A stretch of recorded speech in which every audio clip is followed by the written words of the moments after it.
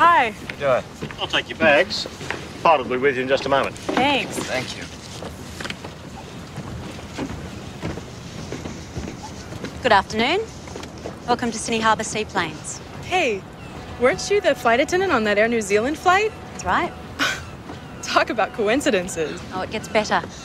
I don't know your name, but you're Jake Barnes. Eric told me to expect you. I'm Ali Reese. I was Claire's best friend. Hey, you know Terry, my son. What can you tell me about him? Terry's a good kid. He's smart, he's funny. I mean, how's he holding up? He's hard to read. Claire's death really tore him up. But he's tough. What does he know about me? I don't know. Did Claire ever talk about me? Yes? And what did she say?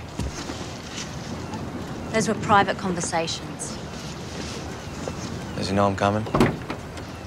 Yes, he does.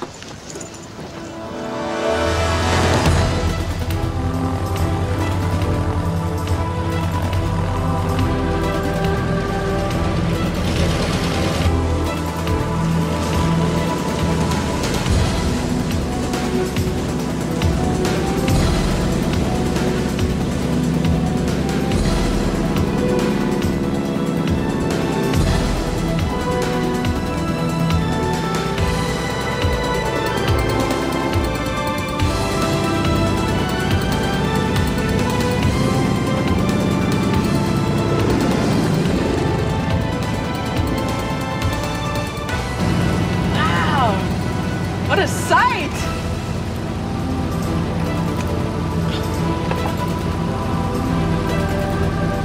What did you say? The city from here. It's amazing. It's the best way to say it. It looks like an old fort. Uh, it is. It's Fort Denison. Dates back to the convict ships. Wow.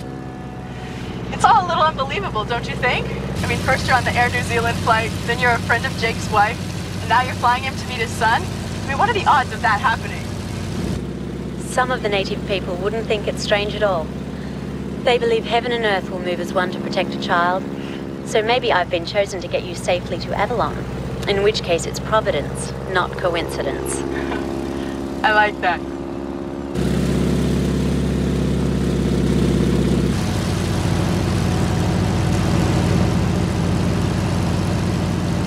That's where we're going.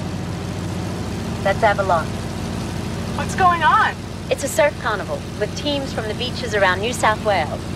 If you ever want to see something uniquely Australian, though, this is it.